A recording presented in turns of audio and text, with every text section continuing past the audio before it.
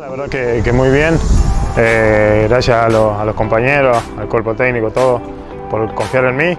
Eh, pero bueno, lo bueno es que me recibieron bien y eso es todo más, se hace todo más fácil. Hay que tratar de empezar bien, eh, bien firme y bueno, y a medida que, que vayan pasando los partidos y, y soltándose y buscar la,